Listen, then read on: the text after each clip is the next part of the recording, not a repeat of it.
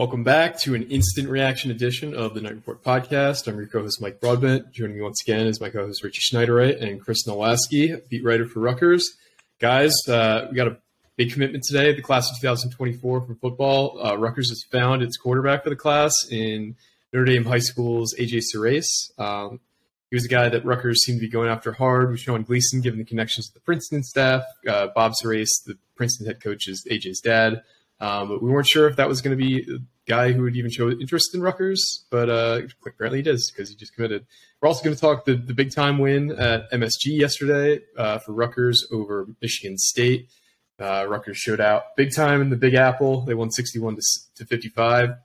But uh, let's talk this commitment first. Um, I truly thought that that door was closed when Sean Gleeson got fired in October. Um, I guess we, we kept recruiting him though, and I, I, imagine Kirk Ciarrocca must have watched his tape and met with him and really liked him as well uh, to take this commitment. Um, but but tell us a little bit about what we're getting in this kid, Richie.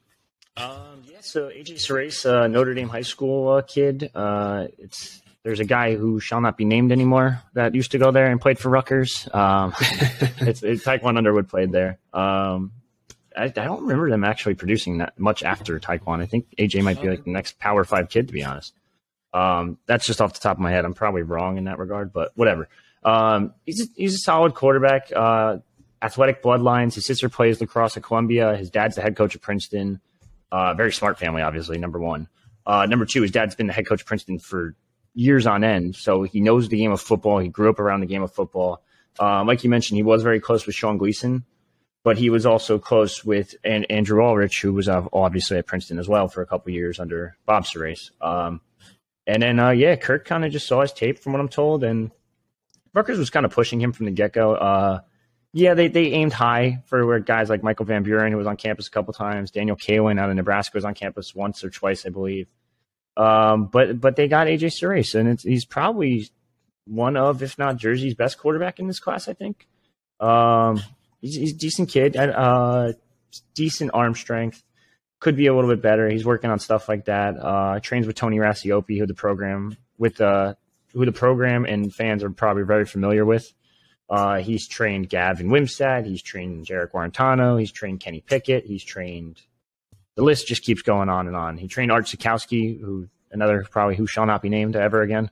Uh, but uh, yeah, no, he seems like a decent kid. He puts the ball where it has to be. He's got a high IQ, high football IQ, and uh, I mean, I, I think he's he's a solid get. It's it's a decent get for Rutgers, and uh, you get your quarterback locked up pretty early, and that's usually the leader of the class. So let's see if he can uh, convince another, a couple other Jersey guys to stay home.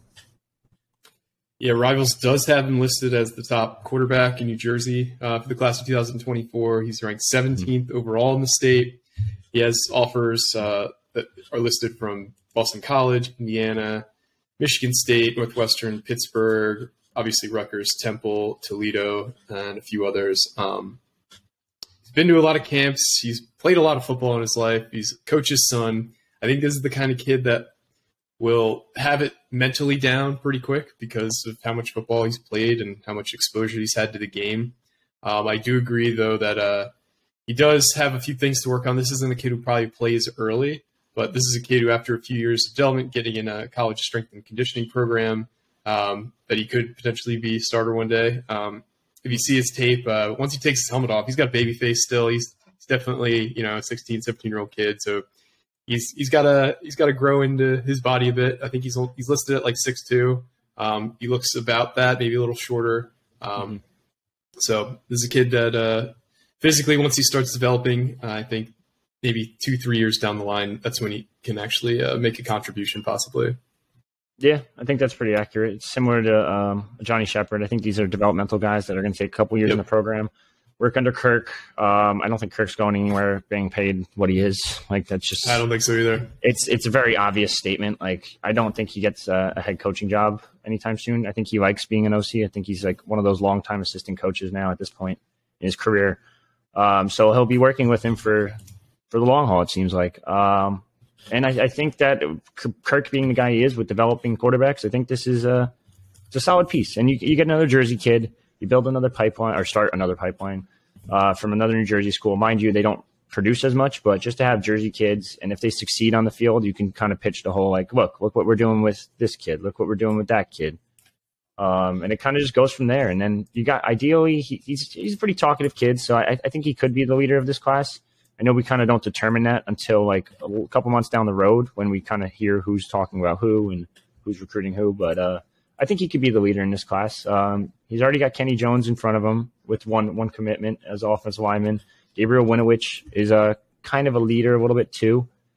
Uh, so I mean, this it's a good start to the class. You got some some good targets, and we already spent another future cast for uh, Corey Duff over in New York. So, and we're probably close to submitting one for Caden Brown as well. I'll, I'll, just say it. Like I know I hinted at on the boards, and if you haven't figured it out by now, like it's Caden Brown who I'm hinting at. Like, mm-hmm. um, we also have a future cast for Dominic Toy out of Pennsylvania, whose uh, OC is Demir Shaw's brother and his other the other recruiting coordinator is Demir Shaw's other brother.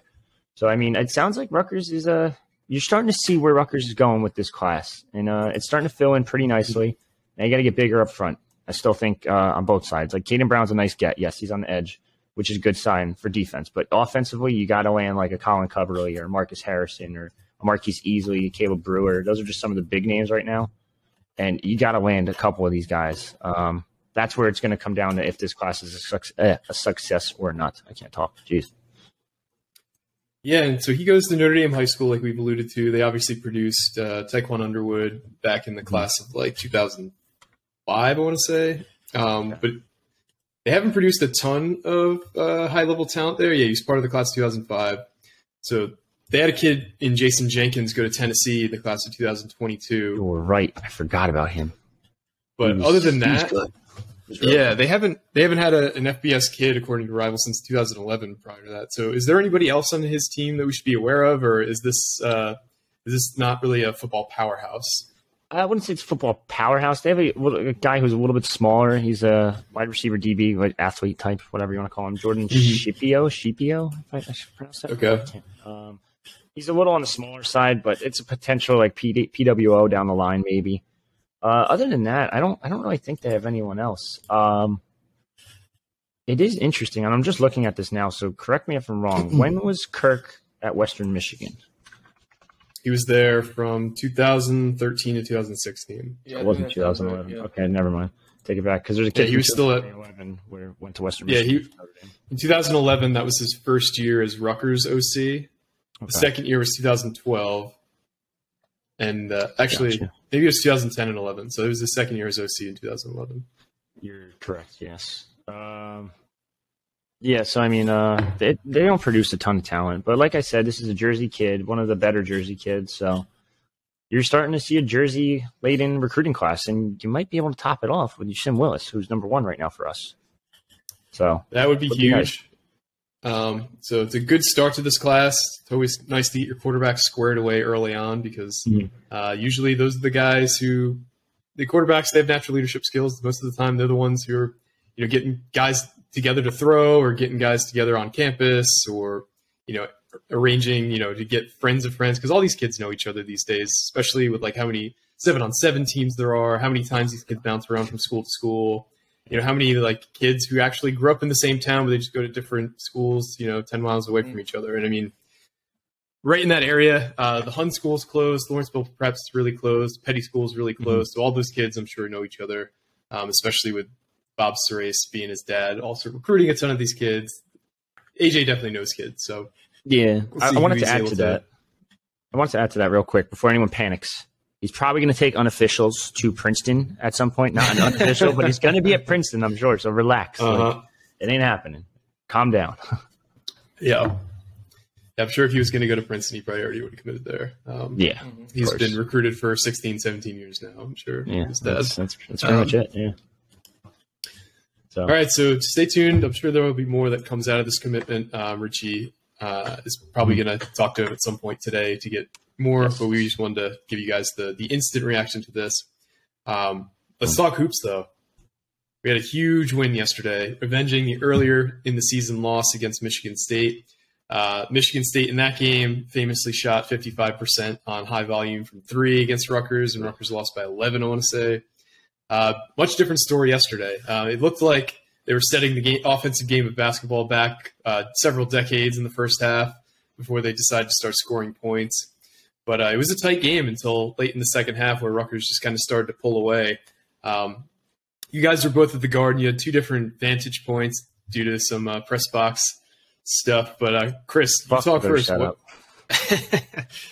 uh, what did you see out of the game yesterday that really impressed you? Yeah, so um, you know, before we even talk about that, man, I was um, you know getting on the train. Obviously, the train was full of Rutgers fans. Um, I saw I, the whole time I saw two Michigan State fans walk past, and that and that was it. Uh, you know, it was it was obviously I, I, got in from New Brunswick, so there was a lot of Rutgers fans there, students, everything, getting on the train. So, um, but yeah, Rutgers came out in full force. I mean, uh, there was almost fifteen thousand in the arena, and I'd say it was maybe like eighty percent Rutgers there. It, it was loud, um, you know. So they obviously showed out for the game. Um, obviously, there was all the talk about um, you know having you know Rutgers being the quote unquote home team for the game and how they're giving up a game at the RAC, but um, obviously it wasn't quite quite the RAC. But you know Rutgers fans still made it loud there. Um, I had decibel meter and it got up to about 104 at some point. So um, that's that's pretty RAC esque, I guess you could say. So uh, yeah, I mean, a lot of you know, Greg Schiano was there, Pat Hobbs was there. Obviously, there was a lot of Rutgers fans there. Um, it was sea of red, really. There was like a little bit of green, kind of in like the one corner by their bench, but, that was really it. And um, yeah, just going along with the game. Um, yeah, I thought Mawot Mag really was was Rutgers in, in, in the first half until they got hurt. Uh, it was a shame he got hurt. Um, I wrote about it. I asked after the game. There's no update on him really right now, but um, he's going to see see doctors today, but um, yeah, I mean, like Richie said in, in, the beginning, the shooting was bad for both teams. Um, but Mag was really he was really the, all the Rutgers offense. He was playing well defensively. Um, he made his first two or three shots, I want to say, and then everyone else was like 0 of 13, um, 0 of 14 uh, until Andre Hyde finally made a bucket. But um, yeah, they they clamped down. I mean, I mean, Michigan State went up went into the halftime with I want to say a six point lead around there. Um, they had the you know steal in the in the bucket right at the buzzer, which obviously I saw Caleb McConnell. He he looked crushed after that. Uh, but you know, obviously with Mag being out, they had to change up what they wanted to do. They got the ball to Cliff to start the second half. He did really well getting inside, uh, a couple and ones, dunks, layups. Um, and then you saw, you know, Caleb McConnell, Paul Mulcahy he really step up and had that veteran presence. Um, you know, Paul Mulcahy just took over at the end of the game, getting to the hoop. Um, even even Tom Izzo, uh, Michigan State coach, was you know they credited him uh, for being able to attack the basket. Caleb McConnell um, switched up his defense on Hauser, who was really killing Rutgers early in the game, and uh, he was able to shut him down. Um, and then you know Rutgers earlier in the game, they just didn't make the free throws, but um, towards the end, you know, last two minutes or so, Michigan State kept fouling uh, Rutgers to kind of you know slow the game down and hopefully make the miss and make buckets themselves. And Rutgers did a really solid job with the line there. And um, even even freshman Derek Simpson came in and uh, he played a lot of minutes down the stretch and made it and made his free throws when they mattered. So um, he you know him and Paul had that little gaff I guess uh, toward the end with a couple seconds left, but. Um, it didn't hurt Rutgers at the end, and then uh, I like that Cliff was able to get that last, uh, you know, last second block there yeah, I do want to shout out Cliff there, the, the true hero of the game, because anybody who is in New York and a Rutgers fan who finally got to bet on the Scarlet Knights, or maybe you know got to previously, but I imagine it was a lot of Rutgers fans' first experience being able to go to a game, game like day of, and bet on the game. The line bounced around between three and a half and four the last couple days. Uh, settled in at four and a half. So Rutgers is up six there with about five seconds left, and uh, yeah, Derek Simpson just throws the ball away, and Paul's looking at him like he's like you know about to rip his head off, and uh, you know Cliff does what any true superhero does, and you know he blocks the shot and he keeps the Rutgers up by six going on, and Rutgers ends up winning by six. Uh, if they would have made that layup, they would have lost uh, lost the game because good you know good teams win, great teams cover. Uh, Rutgers cover the game, so big shout out to Cliff. Um, I feel like someone predicted that in a war room. Weird. I'm out of a good week in predictions. Predicted what? That Cliff would block a last minute shot to, to no, keep no, no, the, no. Uh, the points spread alive? That they would cover and win. So Yeah, okay. Gotcha. Yeah. It, it, didn't look good in the first half after Matt got oh, it. It didn't look good in the first half, though. I mean, the under still hit. It was 124 yeah. and a half or 126 and a half. I forget what I tweeted out. And I was, the first half, I'm like, yeah, no, that ain't hitting. Like, there's mm-hmm. nowhere. Um, two two real quick thoughts. Now, number one, I, I know I kind of um, crush Paul from time to time for his uh, outburst, I guess, but that man showed true leadership on the court, even pregame.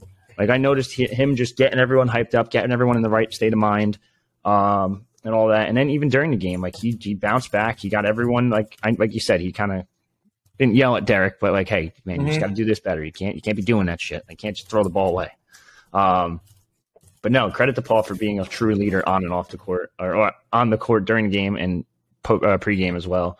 And then he showed a lot of maturity in postgame too. He sounded like uh, all, all they care about is uh, is winning, and I, it's fair enough. I know uh, what uh, Izzo mentioned it too. He's like these guys just they just they're a different breed. They just don't care. Like they don't care about this. They don't care about that. They just win, win, win, win, win. Which Yep. on top of that, Izzo had some fucking weird quotes, man. That guy is a quote Yeah. machine, though. What the the Flintstones you compared him to at one point? I think he called Pico quirky or Something like that. like yeah, that. he said, his, was- he said his personality was is funky, kind of like guy, uh, guy next door, but also with some orniness. Like, what? What are you? What are you off your meds, dude? Like, what? Yeah. Where are all these?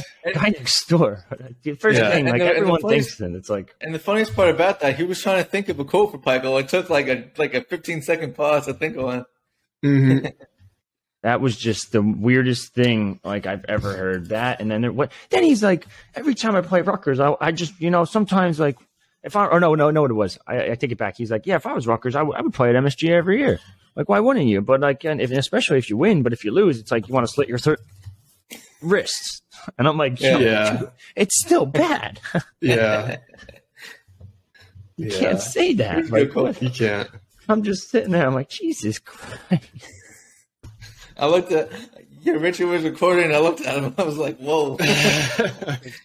dude like oh my god that was that was a rough one like i don't know where you're going with this but okay i guess that's just Yeah, there's still time Rock. to retreat from what you're trying to say here, buddy. This is uh, not sounding good nor looking good. Yeah. uh, yeah that was that was something oh my god um so i found something out interesting about the game too is technically they didn't because there was a lot of games on saturday in terms of high schools and it's also noon they can host recruits there Yeah. so in the future I, I think you're still doing it Well, can we talk through, you know, that whole debacle? Like, how did this go from a neutral site game to a Rutgers home game seemingly overnight? Does anybody know the answer to that? No, that I don't I don't. understand whatsoever. It, and the NCAA or not the NCAA, I think the Big Ten just clarified. It's like, yeah, no, it's a Rutgers home game. Like, Was it a Ruck, was it a Michigan home game when we had it a few years ago? yes, Yeah, Okay. but they were like, home, so, like, but I don't know for quad and- rankings. And I don't think there was like the net or something like that. So there wasn't like it was considered neutral though for that or something. No. Because I mean, if it's going to be a Rutgers home game, like there's two main things I could think why that's beneficial for Rutgers, and they're both kind of like they're both kind of like I don't know. One's financial, like do you get the all the take from everything, like the tickets? Do you get like a slice of the all the, the concessions, and also the recruiting aspect? You could basically treat it like you're on campus, and therefore Mhm. like have a recruiting section, have all these kids coming to the game for free. I don't get the sense that they did that.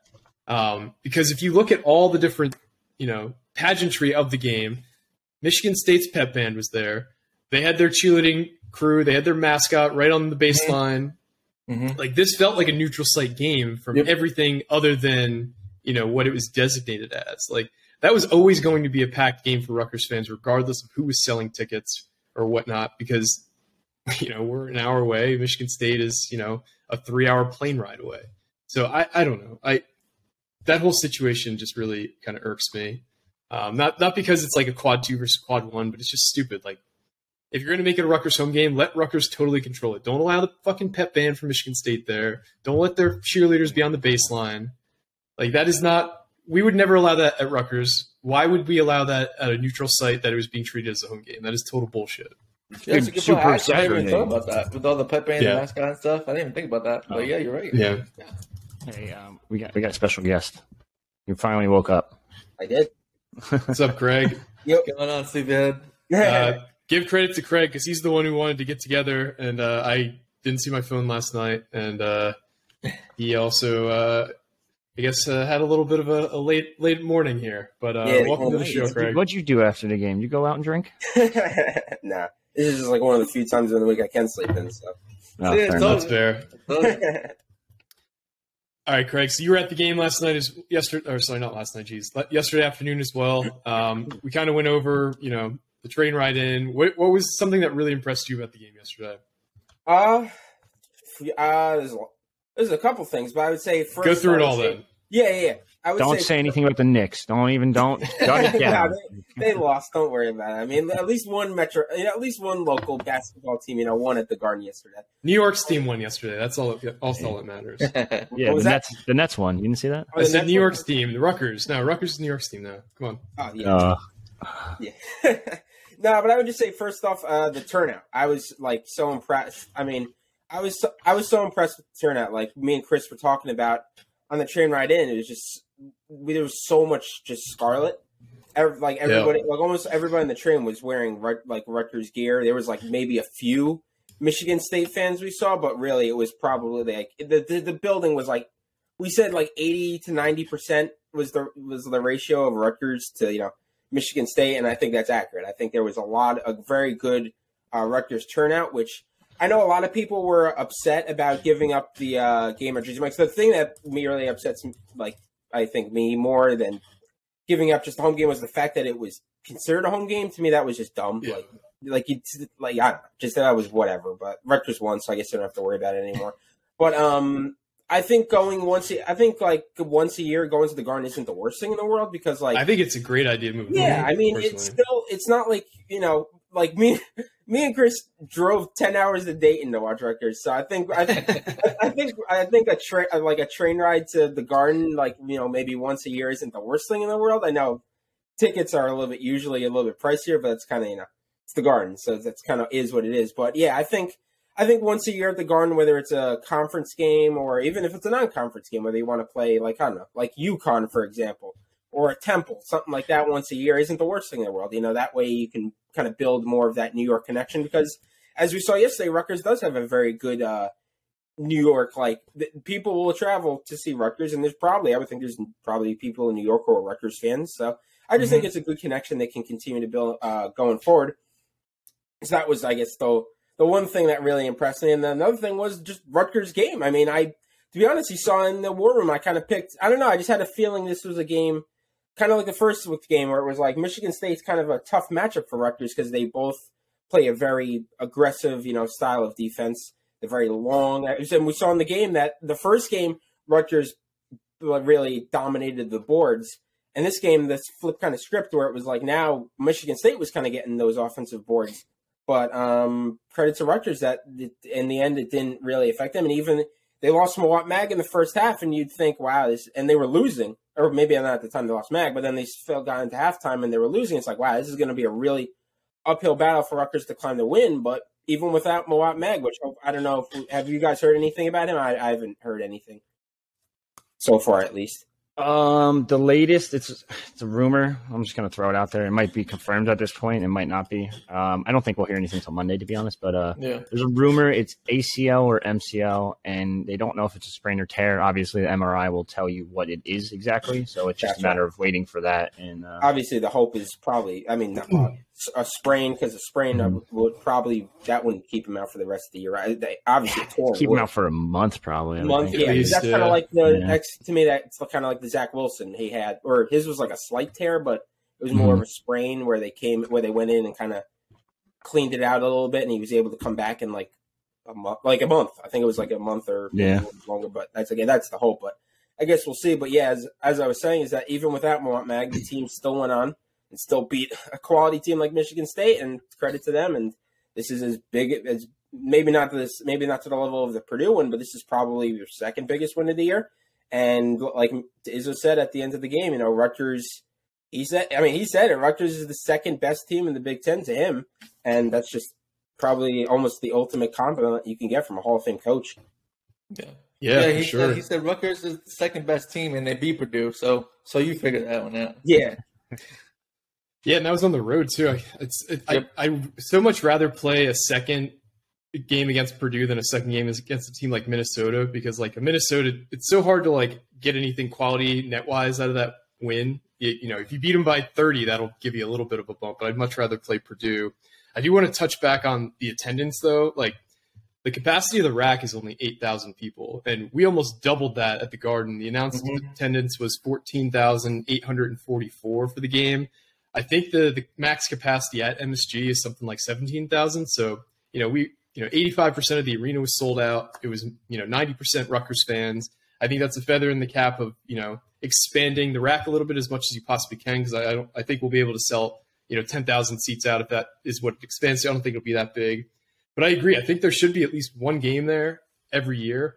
Ideally, it's a big name opponent that doesn't travel, like a game like Michigan State, not, not necessarily a conference game, but a game that you can really hype up and a fan base that like a Duke would suck to play because that'll be a half Duke fans. A UConn mm-hmm. will be a lot of UConn fans. You know what thinking too about that? That UConn yeah, would be fun. That would be fun. And I was also thinking, even if you play like a low, like kind of a, a, a I guess mid major, a local mid major, I think that would be cool because it's like for them, let's just throw mm-hmm. a name mm-hmm. out like a Wagner or a, or a Monmouth. Iona or something like that. Yeah, it's like you know, those teams never get to this. Like those kids would normally never get a chance to play at Madison Square Garden. So this could be their, you know, one chance to actually play on a stage like that. They, I mean, if you're Rutgers, it's kind of you'd expect it to be an easy win, but like maybe not Iona. Iona would be pretty tough. But if you're playing like you yeah. know a, a smaller team like for if you look at it from Rutgers' standpoint, it's that we're building that connection. We're getting kind of maybe an easier non-conference win. And if you look at it from the other team's perspective, I mean, yeah, it stinks that you might get you know your doors blown in, but it's like you get to play at Madison Square Garden, and it's like that's probably the one maybe one chance they're ever going to get to play at Madison Square Garden. So I think that could be kind of a win-win scenario too. I'm glad you said that because Izzo mentioned it too. He's like, "This is the Garden. This is still the Mecca." I had someone arguing with me. Shout out to Rob on Twitter who follow like replies all my shit. Love it. Um, but he uh, he said he's like, do, do, these kids like these young kids like Harper and all them really care about the garden? I'm like, yes, absolutely. I'm a Nets fan, diehard. I hate yeah. the Knicks. That place is just awesome though to play in. Yep. Just even yeah. sit in there, watch a game. Yep. Like I went to Knicks games before, and I'm like, shit, this is kind of cool. Like, yeah. the thing about the garden is like they're like some of the smartest basketball fans in the world where like they'll cheer on like greatness. Like there's been so many times where an away player has had just a fantastic night and they get standing ovations playing at the Garden. Like it's, every player tries, you know, t- tries to like show out for the Garden. It's a huge deal. Um, and one game a year. I mean, I think Rutgers was supposed to play Gonzaga at the Garden a few years ago during the uh, during the year the, the pandemic happened, and then that didn't work out because of New Jersey's uh, pandemic rules. Not, Richie, you looked at me weird there. Is that not the case? They were very close to playing. Uh, I don't remember who it was. I don't know if it was Gonzaga, but they were very close. They had a playing in place to play Gonzaga. This oh wait, wait, I think it was Baylor. I think it was Baylor. It was Baylor. Baylor. Oh, it was Baylor. Yeah. You're right. Sorry, sorry. Play Gonzaga this pat this season, but they this backed season. out last minute because they're a bunch of pussies. yeah, we would have beat the fucking brakes off them this year too. Gonzaga's yeah. not good. Yeah. You, Timmy, in your million dollar contract. no, no, I'm sorry, NIL deal. Sorry. yeah, yeah. Um, but as, as a wise old man once said yesterday, he was yelling at a cloud. That team bought their team, and that's why we lost. Oh my god, Jim Boeheim, total fucking crybaby. Pays for you know he buys teams for years at Syracuse. Like I'm sure Lamelo went up there because he loved fucking winners. Lamelo, see that's yeah. the issue. You said Lamelo. No, I said Mello. Uh, I thought you said Lamelo. No, no, I said Mello. I was yeah, gonna say, don't Carmelo disrespect, Anthony. No, disrespect on. one of the greatest Knicks of all time. Fucking loser, yeah. never won shit. I, I, mean, he got to the second round of the playoffs once. Give him some credit.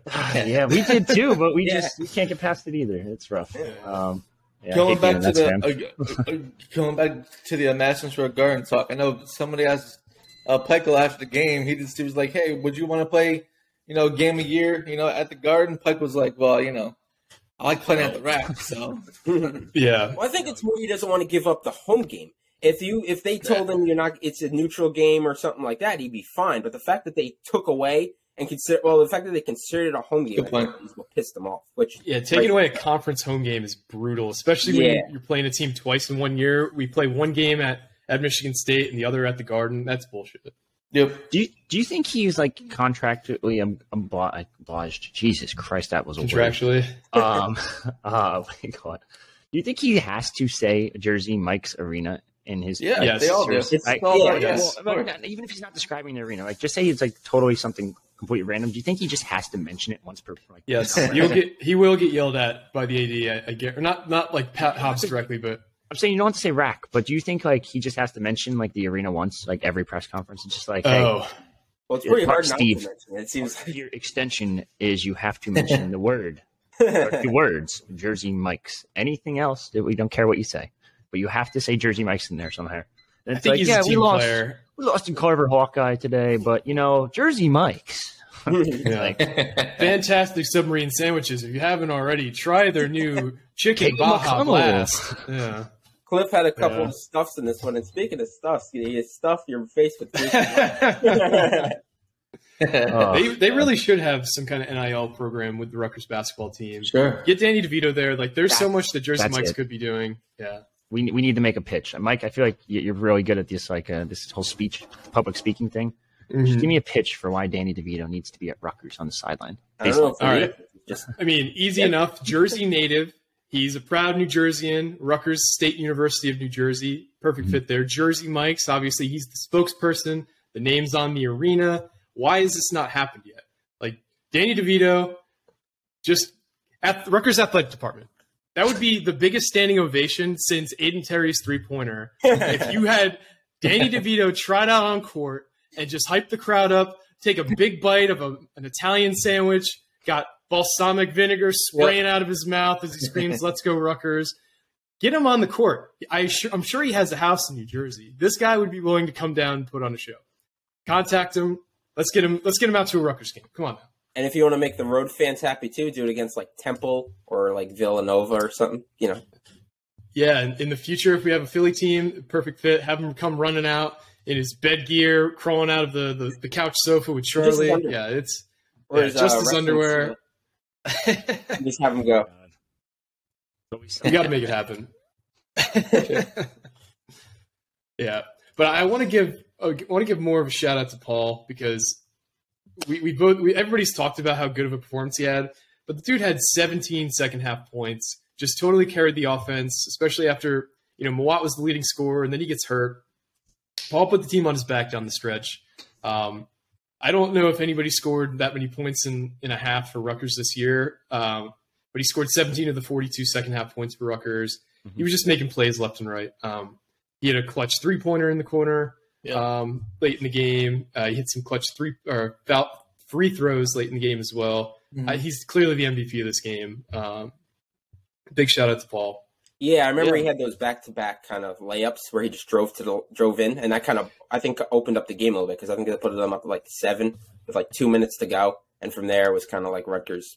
Just now it was just all about hitting your free throws, and they Yeah, they yeah, they started doing a lot of pick and roll with Cliff, and then obviously you know Paul Paul just got downhill, and even even Izzo after the game you know mentioned that Rutgers just started attacking the ball or start, started attacking the rim, and, and that really changed changed the game.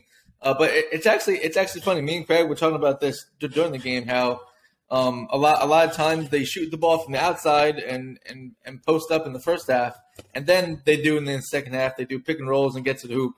Um, you know, they should maybe start with pick and rolls and then um, either attack either attack the rim and, and give the ball to Cliff to dunk it, or if they're both not there, then kick it out to Cam for, for a three or something like that. So we'll we'll see if uh, how it changes now with Mag out. But I also think it has to be a, a season high in, in terms of free throw attempts for the team. They, sh- they shot 34 free throws this game. yeah, Now, Yeah. the, the the other side of that coin is they went 22 for 34. Uh, so they only Really? shot about 64% from the line. Another putrid performance from beyond the arc for this team. They went three for 16 from three. Oh This, God! this is what the, the, the fourth or fifth game in a row they've really struggled from deep. Mhm. Um, I don't count the Minnesota game because if you guys listen to the, the Geo podcast, he was basically saying like it's the worst defense he's ever seen a Big Ten team play. It's like shooting practice out there. Um, the Rutgers did shoot fifty percent from the from three pointer from from three against Minnesota, but actually they shot forty percent against Iowa too.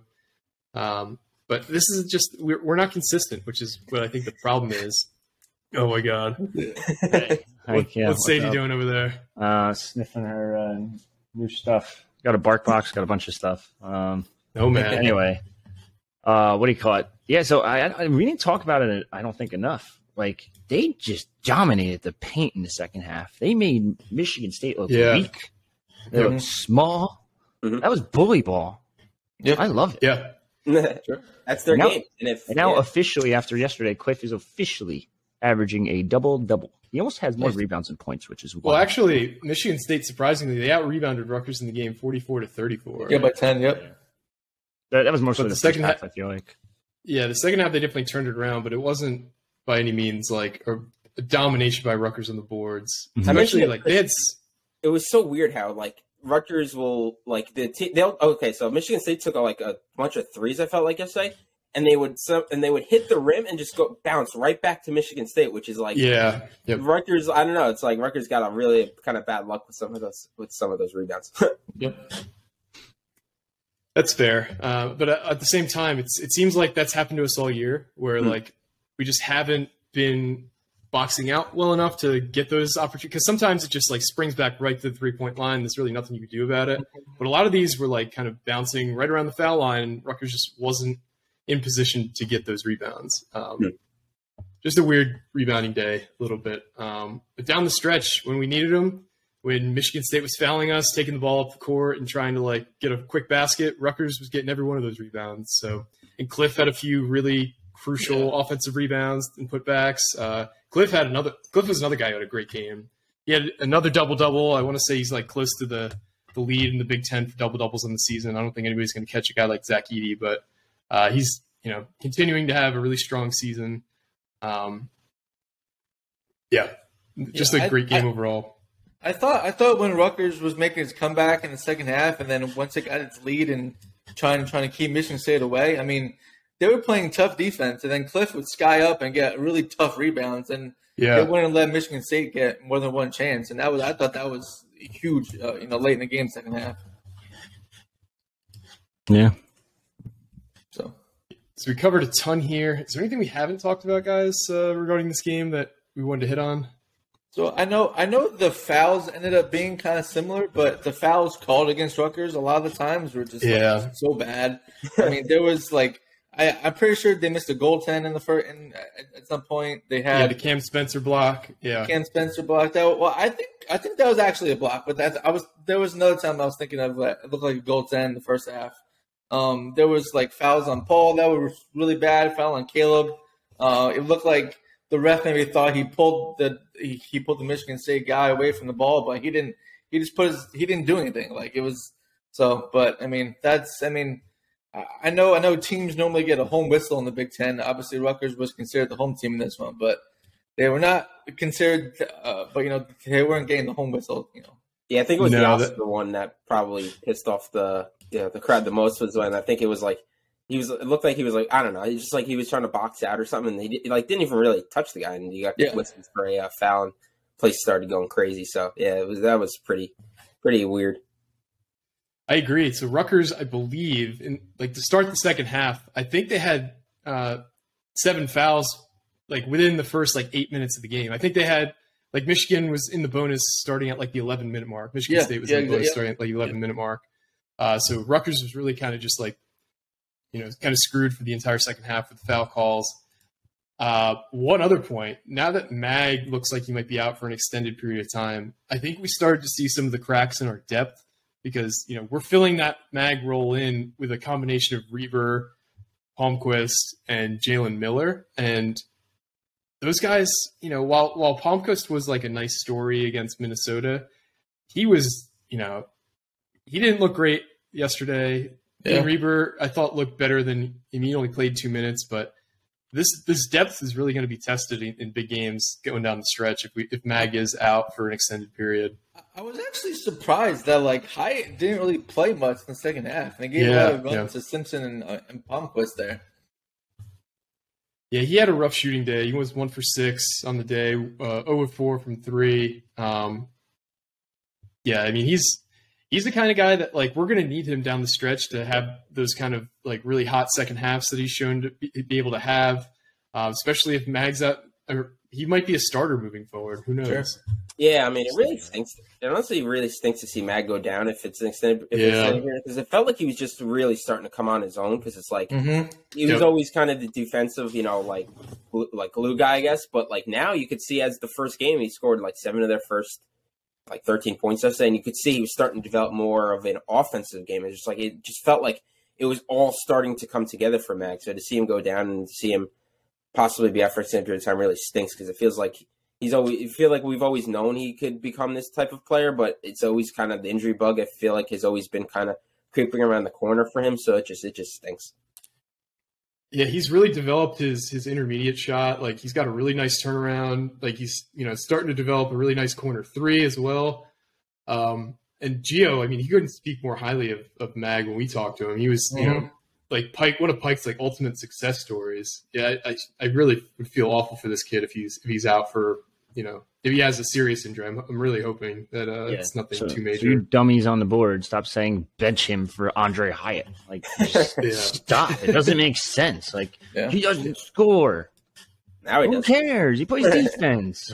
yeah, I said it. I said it on the podcast a couple. I don't know at some point recently that you know, High High can score. He just has to be more consistent. And if he if he can do that, it just opens up everything so much more. And but you know, we haven't we haven't seen that yet. But if he's able to do that, obviously he might get more more minutes now. You know, starting and everything like he did early in the season. So um, he's going to have his chance. And you know, like like yesterday, he, if he's if he's not you know shooting well and playing good defense, then he's going to be back on the bench. You know, for Oscar or or or, uh, or, or, or like someone like like Reiber or something like that. So. Yep, and it's all about confidence because he hits the Ohio State three, and all of a sudden now he's become more of an offensive threat. So it's like, oh, yeah. there you go. I hope. Yeah, I love Hyatt too. Uh, uh, yeah. Like he's just he doesn't complain. He's, he seems like the perfect teammate. Like this is a really highly rated kid out of high school who played a lot for a tournament team at LSU. Comes to Rutgers, becomes you know the sixth man for this team, and it seems like he's you know he's a total team dude. So I, I really hope that he steps into this role and elevates uh, his his game a bit here with Mag being out for some kind of extended period. Sorry, Rich, what were you saying? No, I'm, I'm eager to see Oscar. Like I, I, have seen him be so athletic before. If he just has an inch of confidence, this man could be a really decent piece for Rutgers. Like, uh, I'm, I'm eager to see this. He does seem to be in his head a bit because he had one really, you know, weird turnover early in the game. He had that one like inbounds pass from under the basket that seemed like he just like looked away from at the last second and it bounced mm-hmm. off his hand. Um, I do agree though that he he looks like a guy you know, because he's what like six ten, he's a lefty, mm-hmm. he's known as a shooter. Like this is a guy that you know, if he could reach his potential, he's a very valuable piece. But it seems like it is the, the confidence thing. Mm. Yeah, if, yeah, I mean, if he can hit his outside shots and be kind of, I guess, another scorer, I guess, alongside Cam, then I think you can probably live with maybe a little bit of a step down from a, a defensive perspective because then, it, uh, like, it opens up more of your offensive game. So that's kind of yeah. kind of the mix and match you can you kind of I guess you can kind of play here, but it's just all about you know I guess confidence and just can, being able to continue to hit your shot. Yeah, and everyone everyone says Oscar is like one of the best teammates on the team. So I mean, yeah. obviously he's he's well liked. Um, but pro- probably the one thing that maybe he's not the best at is probably his defense. I noticed they go to zone a lot when when he's in the game. Uh, maybe that's because of him. Maybe that's just a coincidence that I, I noticed. But uh, yeah, I mean, he has a nice a nice shooting, uh, you know, motion and form and everything like that. So um, if he can, if he's able to make one, like I said, it brings his confidence level so much higher. Um, he made he made his shot against Minnesota and ends up having a career game. He played a lot of minutes. Um, yeah, and he's going to get a lot of minutes now, and uh, you know this is this might be his chance. Yeah, I think that's what really is going to test this team moving forward. Is if he if Mag isn't out there, like you were just able to throw Mag and McConnell on the two best offensive players, regardless of position, other than like a Zach Edey type for the opposing team. And it was basically just like this chameleon defense. Like you weren't going to get an easy shot on either Mag or McConnell. And while Cam Spencer, you know, and Paul Mulcahy aren't like the fastest guys, they're really good defenders. They're mm-hmm. opportunistic. Mm-hmm. They're smart. So they know like, okay, if I come in and double right now, when this guy's you know about to like do a spin move, I can reach in and, and get this get this ball. So they're like, it's a very high IQ defense, and not that the, the you know the guys on the bench aren't, but you know, a lot of these guys are used to playing with one another and used to Mag taking a very important role in that defense. So it's going to be tough to replace him. That's, I mean, we keep you know circling around this, but I, I also thought that Caleb had one of his best games of the season defensively. He was just totally like shutting down everybody from Mhm. you know you know steals to clutch rebounds. He just nobody got an easy shot on Caleb yesterday. Could be back to back, you know, defensive player of the year. You know, I guess you never know. Could be. Yeah. Um, all right, so I, I guess we kind of exhausted most topics from this game. Um, for those of you who have not heard already, there's going to be a live event on Tuesday at the Olive Branch for the Rutgers Indiana game. I believe it starts at six o'clock. Uh, I might be wrong there, but the game is at six thirty. Um, sounds like it's going to be a big turnout. Um, it's co- co-hosted by the Knight Society, by the front office and Rutgers Rivals. I believe uh, uh, Night and Day Apparel is also sponsoring it, and a few other sponsors as well. It's gonna be a good time. Asbury time. Park Brewery, baby. Asbury Park Brewery. Um, Geo Baker's going to be there. Victor Konopka from the football team is going to be there. Riley Tiernan from the women's soccer team is going to be there. Sounds like Adam Korsak is going to be there as well, fresh off of his Senior Bowl appearance. Anybody who hasn't seen the punt he had that went viral from the Senior Bowl, on Twitter, whatever. He had an awesome punt in the game that was down at the one yard line. Um, it sounds like from everything coming out of the Senior Bowl, uh, he had a really good performance in practice all week. It sounds like he's the number one punter by a lot of scouting services. So we we might see Adam Korsak get get drafted. There's not many punters who get drafted, so if there aren't any drafted, um, he'll it might actually be a better situation for him because then he'll pick his team. Um, and for a special teamer, if you could pick your team, you most likely can you know pick where you're going to start because not many teams have a punting opening year after year. Yeah. I know the Jets could use them. They need a lot The more than a Jets, yeah, but that is one problem. yeah, that should be uh, that should be item number about 17 on the list this offseason for the Jets. Yeah. Um, but yeah, if you can make it out, there's still tickets available. We posted a link to that on the board and also in the uh, the article from our, our interview with Geo. If you haven't listened to that, obviously he dropped so many interesting nuggets, some recruiting nuggets, you know, some nuggets about the team. So that's kind of a bit ever, a bit of evergreen content. That just means you can listen to it and it's still timely whenever you, you hear it. And he also talks about the event. Uh, but again, thanks again for listening, guys. If you haven't already, please like and subscribe. Rate us on your favorite podcasting app. Uh, but for me and the rest of the guys, it's been another edition of the Knight Report podcast. Signing off. Rutgers.